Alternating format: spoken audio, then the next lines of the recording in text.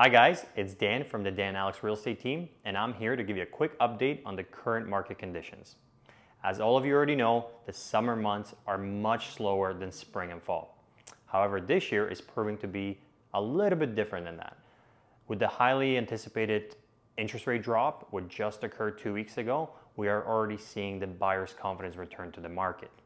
In Barrie alone, we are experiencing more activity and more sales. To put that into context, the year 2022 and 2023 brought in approximately 500 to 650 sales during a span of three months. This year alone, in the early stages of the summer, we are already sitting at 360 sales, which is much higher than we were at this time last year. So I do believe that the continuation of the summer will prove and outperform the previous years.